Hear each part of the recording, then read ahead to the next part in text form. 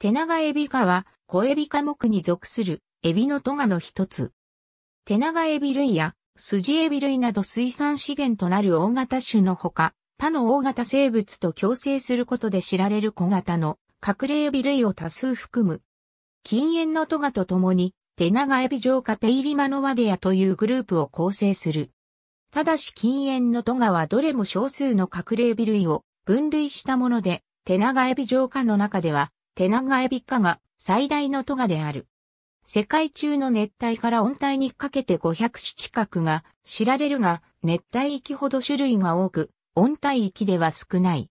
淡水から汽水域、浅い海まで幅広く生息し、食用を含めて人の目に触れる機会が多い分類群である。特にサンゴ礁には多くの小型種が知られる。5体、10本ある、不足のうち、第一歩脚と第二歩脚は先端にハサミがあるハサミ足に変化している。さらに、第二歩脚が第一歩脚よりも大きく目立つのが、手長エビ科の特徴で、第一歩脚が大きい鉄砲エビやザリガニシュタメ、第三歩脚が大きい乙姫ビ類などと区別できる。中には、両方のハサミ足が大きいものだけでなく、左右のどちらか片方だけ大きくなるものもいる。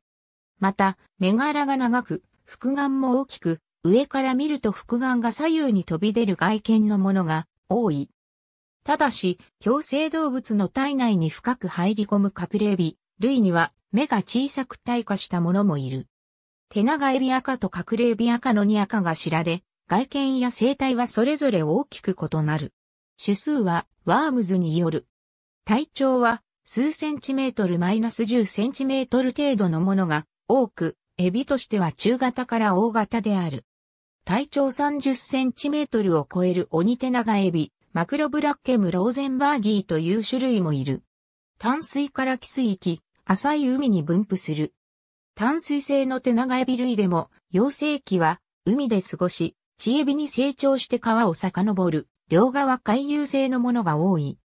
ただし種類によっては、陸封され、淡水域から出ずに一生を送るものもいる。テナガエビ類は漁業資源となるものが多い。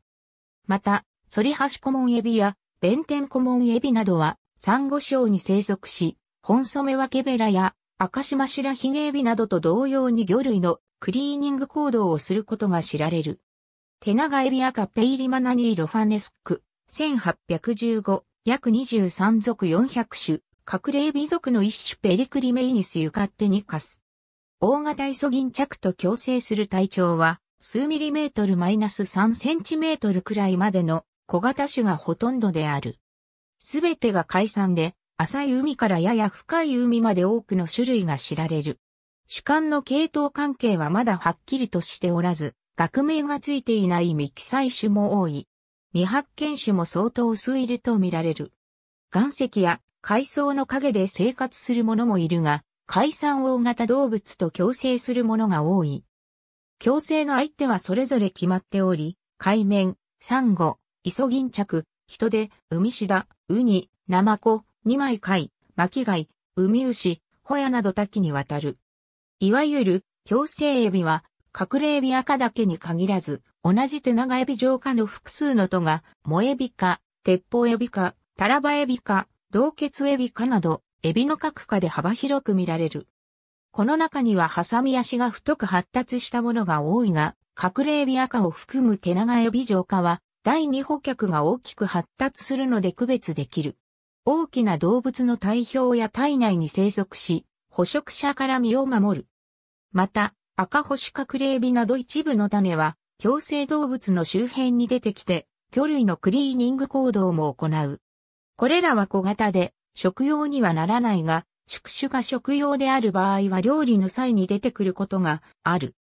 また、宿主の表面を徘徊するものは鮮やかな外見のものもいて、これらは強制の恒例としてスキューバダイビングなどで観察や撮影の対象となる。